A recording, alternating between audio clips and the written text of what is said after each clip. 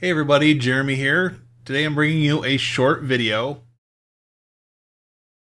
And I just wanted to do this because on some of my videos we talk about VBox Manage.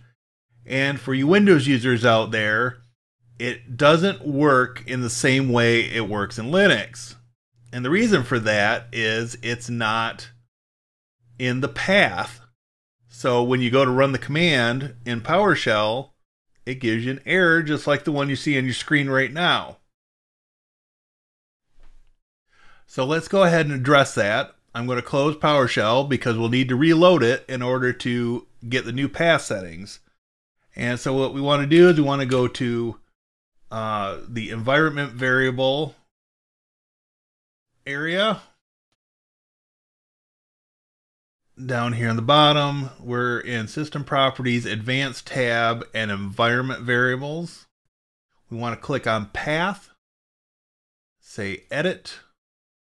We want to say New, and we want to enter in C colon backslash Program Files,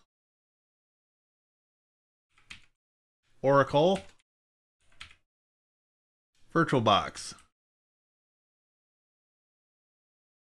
Hit enter, say OK,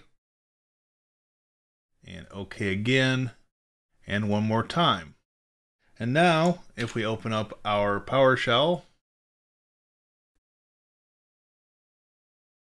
we can type in VBox Manage. And it works now just the way it would work on a Linux or Mac OS system by default.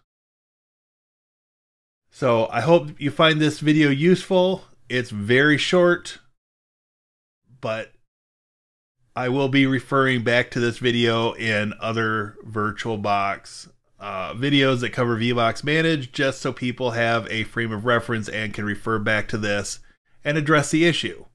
Now, why Oracle doesn't see the need to address this and make it a non issue, handle it in the install, I have no idea. But that's it for now. Thank you all for watching. Have a great day. Stay safe, and I'll see you in the next video.